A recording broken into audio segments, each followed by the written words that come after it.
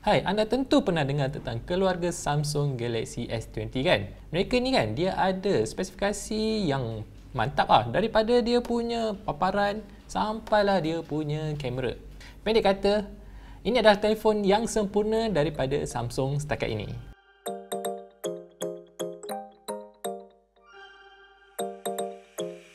Di Malaysia, anda boleh dapatkan tiga varian Samsung Galaxy S20. Yang pertama adalah Samsung Galaxy S20 yang biasa, kemudian Samsung Galaxy S20 Plus dan yang ketiga adalah Samsung Galaxy S20 Ultra 5G.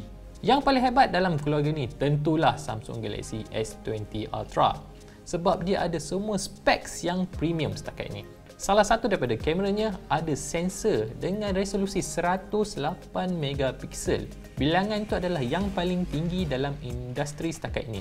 Kemudian ada satu salah satu kameranya juga menyokong pengezuman sehingga 100 kali. Juga yang paling panjang dalam telefon pintar setakat ini. Pesaing yang terdekatnya cuma boleh mengezoom sehingga 60 kali tau.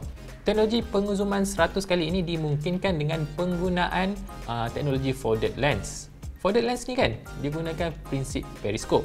Periskop ni kan dia akan pantulkan cahaya dalam sudut 90 darjah. Jadi pada telefon uh, S20 Ultra ni bila cahaya jatuh dia akan dipantulkan selari dengan badan uh, badan telefon ni. Jadi Samsung dia boleh letakkan sensor kamera jauh sikit daripada dia punya kantar lensa. Nak ambil selfie? Jangan risau. Anda boleh dapatkan selfie dengan resolusi yang tinggi sebab kat bahagian depan telefon ni ada kamera selfie 40 megapiksel.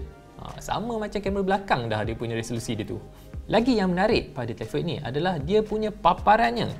Ini adalah kali pertama Samsung menggunakan panel paparan dengan refresh rate setinggi 120 Hz. Jadi bila anda tengok uh, video ataupun main game, anda boleh nampak dia punya motion blur tu sangat minimum sebab dia punya kadar segar semula paparan tu sangat tinggi. Kemudian bila anda main game, contohnya uh, PUBG ke yang kompetitif ni kan, dia punya kadar telefon ni baca anda punya sentuhan tu kan pada kadar 240 kali sesaat. Jadi bila anda tekan, dia terus react kepada anda punya uh, sentuhan tu. Baiklah, sebelum saya terlupa, S20 Ultra ni kan, dia menyokong rangkaian 5G. Jadi kan, bila Maxis ni dia perkenalkan rangkaian 5G kelak, anda tak ada masalah untuk menggunakan sambungan internet yang lebih pantas daripada LTE. Baiklah, kalau S20 Ultra ni terlalu power buat anda, mungkin anda boleh pertimbangkan dua lagi variant lain. Tadi saya cakap, dia ada S20 Plus dengan S20 yang biasa. Jadi, bila dia punya spek dikurang sikit, tentulah harganya lebih rendah kan? Secara asasnya, S20 dengan S20 Plus ni dia punya spek dia lebih kurang sama kecuali kepada bahagian yang tertentu. Misalnya, dia punya paparan. S20 ni dia ada skrin yang lebih kecil, iaitu 6.5 inci. Manakala S20 Plus ni dia ada skrin dia besar sikit, 6.7 inci. Saiz badan yang lebih kecil S20 berbanding S20 Plus bermakna dia punya kapasiti bateri tentulah lebih kecil. Dekat S20 dia ada bateri sebesar 4000 mAh berbanding S20 Plus dia ada bateri sebesar 4500 mAh. Tapi jangan risau sebabkan penggunaan SoC yang cekap tenaga anda boleh menjangkakan hayat penggunaan yang panjang. Sebab ketiga-tiga saudara S20 kali ini diberikan SoC yang paling berkuasa pernah Samsung hasilkan iaitu Exynos 990.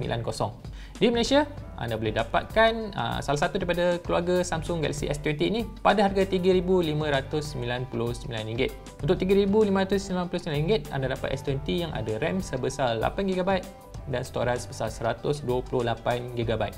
Untuk S20 Plus, ia dijual pada harga RM3,999 dan ia diberikan RAM sebesar 8GB dan storan sebesar 128GB. Dan yang paling hebat, S20 Ultra 5G Telefon ini dia ada RAM sebesar 12GB kemudian storan dia sebesar 128GB. Untuk itu, ia menerima tanda harga RM4,999. Baiklah, sebelum saya sudahkan video ini, saya nak kongsi kepada anda 6 perkara menarik tentang keluarga Samsung Galaxy S20 kali ini.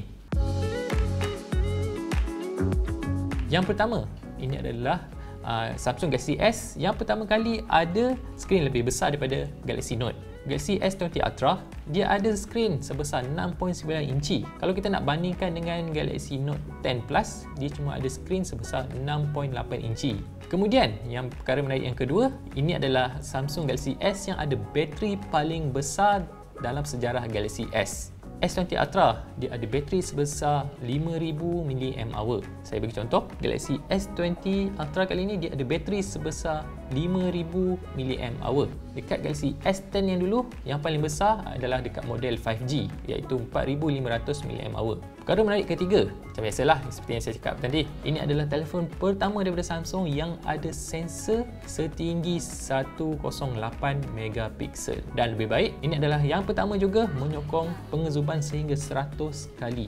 Yang keempat, ini juga telefon pertama yang menggayakan RAM jenis baru iaitu LPDDR5 yang katanya lebih pantas dan cekap tenaga daripada model sebelumnya iaitu LPDDR4X.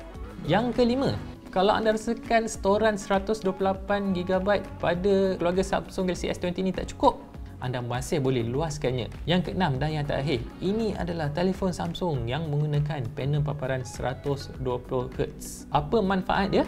Bila anda main game kan, anda boleh jagakan motion blur iaitu bila gerak ada kabur kan yang kurang. Kalau anda bandingkan dengan skrin 60Hz, mungkin anda boleh katakan sekali ganda lebih kurang dia punya motion blur. Siri Galaxy S20 kali ini dia ada spesifikasi yang mantap. Tadi saya ceritakan dia punya paparan dia power, dia punya kamera dia power, kemudian dia punya bateri dia besar. Jadi tak salah lah saya katakan yang telefon ini perlu digandingkan dengan pelan telco yang mantap juga. Bila anda dah habis tonton video ni kan, cubalah anda skodeng laman web Maxis. Sebab di laman web Maxis mereka ada sediakan promosi pembelian keluarga Samsung Galaxy S20 ini anda boleh dapatkan uh, salah satu daripada telefon ini di bawah program Zerolution dan anda tak perlu bayar satu sen pun di kaunter. Dan ada juga promosi beli dua pada satu harga.